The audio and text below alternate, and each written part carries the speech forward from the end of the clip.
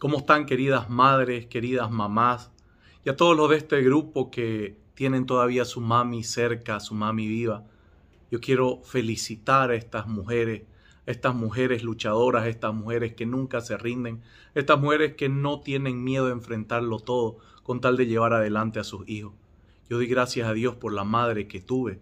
Ella ya no está conmigo, pero honro su memoria y honro la vida por la cual ella se desgastó por nosotros se dio totalmente por nosotros, porque en la madre está el mayor reflejo del amor de Dios.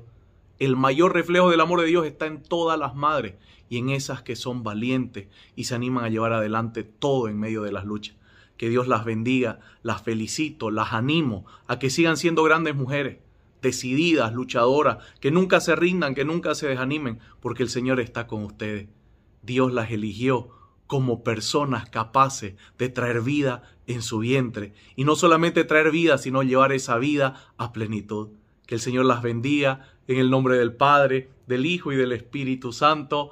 Amén. Un fuerte abrazo y felicidades a todas.